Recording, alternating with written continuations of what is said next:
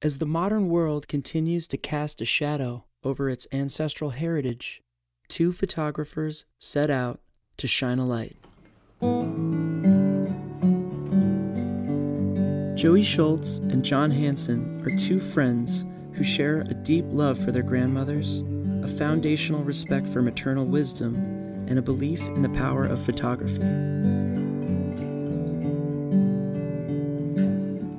Driving from state to state, across cultural barriers and socioeconomic lines, they knocked on doors at random. Is there a grandma here? They would ask. Not every door would open, but the ones that did revealed a portal to an America they could have never imagined. What made you decide to do this? That's what every grandmother wanted to know the why. We both love our grandmothers so much, and they've given us so Oh, much. that's so sweet. and we really want to inspire other people by sharing the photographs and stories of different grandmothers all over the entire country. Humbled by the sensitivity of their task, they took each grandmother's portrait and asked the question What piece of advice would you give to your younger self? That's what counts. A people is what counts. And I hope you meet a lot of nice grandmas and not a lot.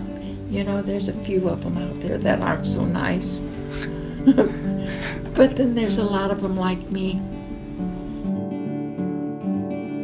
In spite of all the division that plagues the world today, they found a tremendous unity in the joy, the suffering, and the profound resilience of the collective American matriarchy.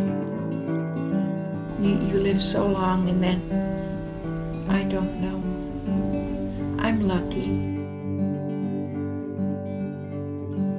These images and diamonds of wisdom are portraits of the women who raised a nation.